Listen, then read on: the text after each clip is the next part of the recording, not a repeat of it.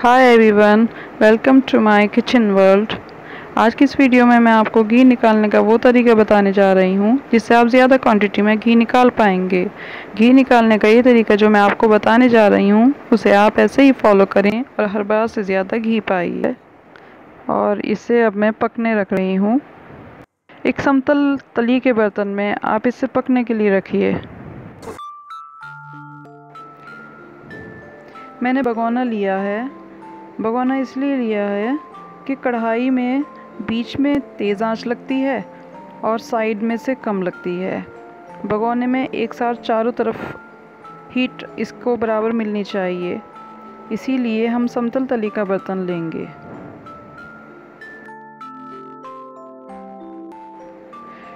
इसे तेज़ आँच पर चलाते हुए पकाइए।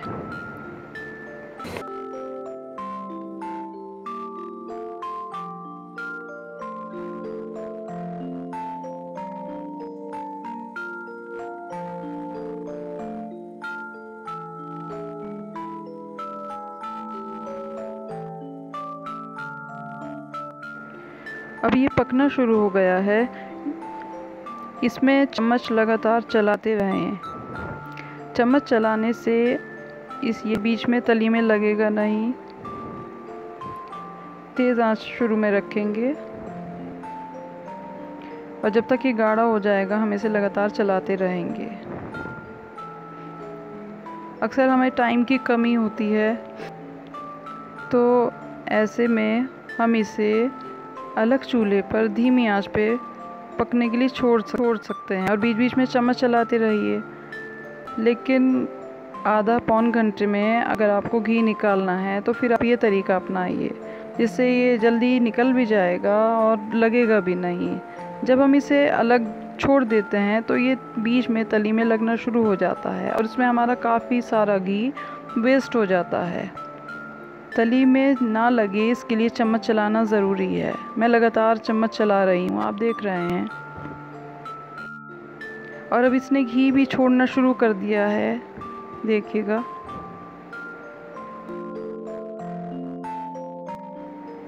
चम्मच चलाने के बाद भी ये बीच में हल्का हल्का लग रहा है।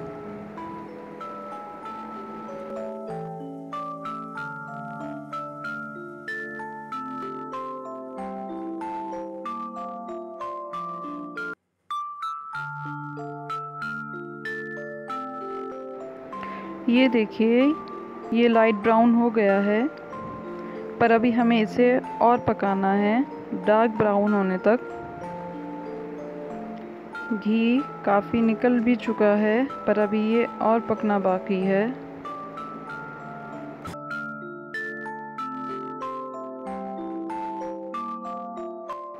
इस टाइम पे चम्मच लगातार चलाते ही रहिए।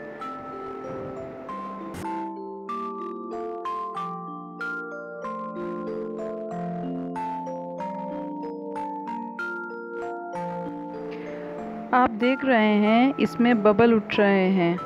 इसका मतलब ये है कि हमारा घी तैयार होने वाला है।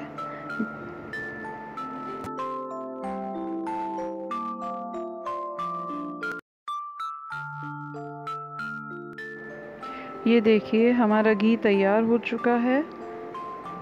इसे चलाते रहें, जिससे नीचे घी ना लगे।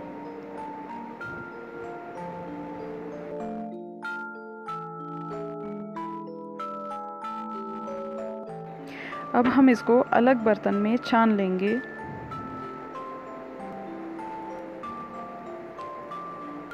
ये देखिए, मैं इसे छान रही हूँ। आप सोच रहे होंगे, इसमें नया क्या है? घी तो ऐसे ही निकाला जाता है। पर इसमें क्या नया है, ये आप अभी देखेंगे।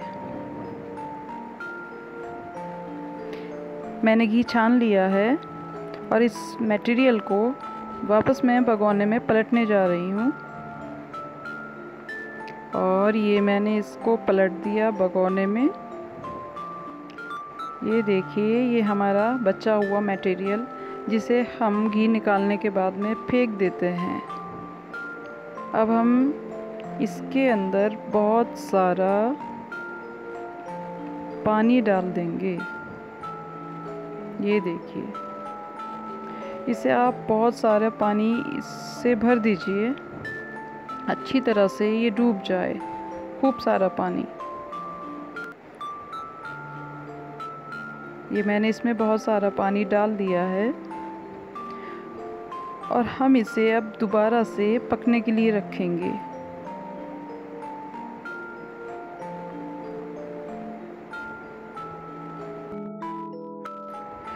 ये हमने इसे फिर से पकने के लिए रख दिया है।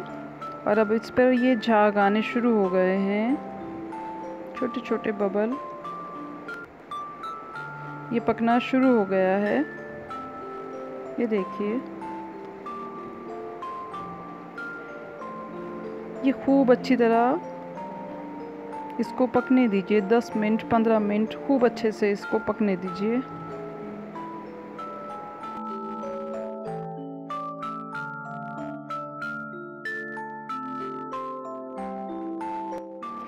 ये अच्छे से पक गया है। अब मैं फ्लेम बंद कर देती हूँ। मैंने फ्लेम ऑफ़ कर दी है। और अब इसे थोड़ी देर हम ऐसे ही ठंडा होने देंगे।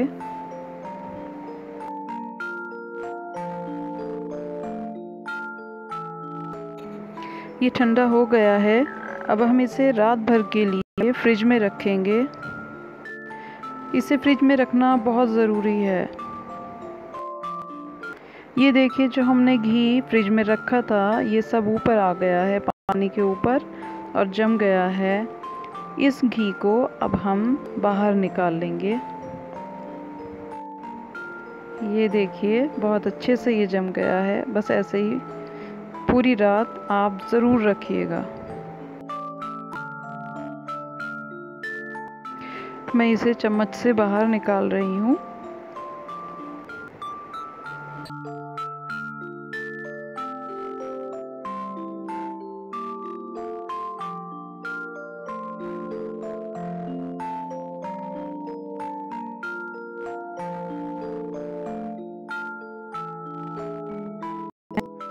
ये रहा हमारा घी। हम इसे दोबारा पकाएँगे। दोबारा पकाएँगे मतलब जो घी हमारा फ्रिज में रखा हुआ था, उसको हम दोबारा पकाएँगे।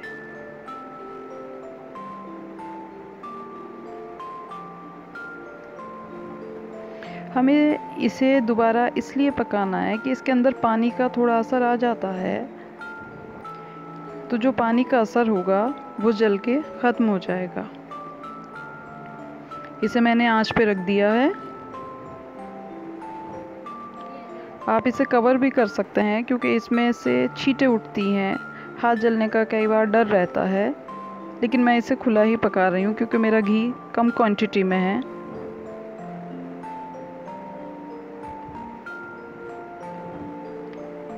इस प्रोसीजर में तीन चार मिनट लग जाते हैं इस वाले घी को पकाने में। तीन चार मिनट के अंदर ये आपका घी तैयार हो जाता है। ये देखिए, पकना शुरू हो गया है।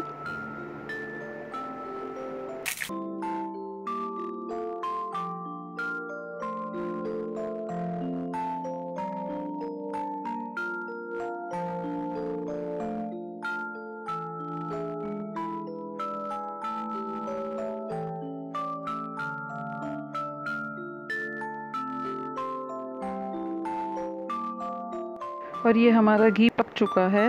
मैंने फ्लेम ऑफ़ कर दी है। इसे हम ऐसे ही ठंडा होने देंगे और थोड़ी देर बाद इसको हम फिर से छानेंगे। ये देखिए ठंडा हो गया है। अब हम इसको छान लेते हैं। मैं इसको छान लेती हूँ।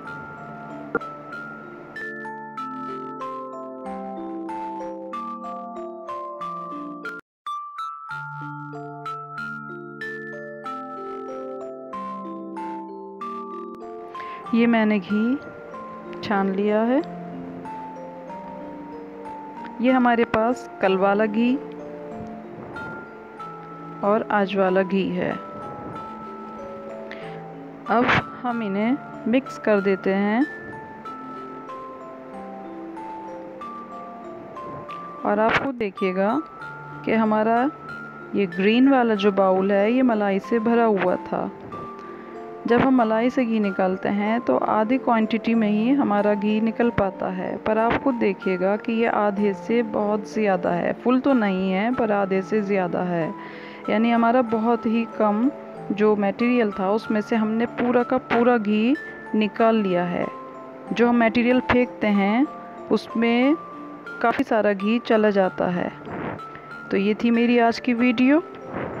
प्लीज़ लाइक ज़रूर करें शेयर ज़रूर करें और सब्सक्राइब तो ज़रूर ज़रूर ज़रूर करें। Thanks for watching bye bye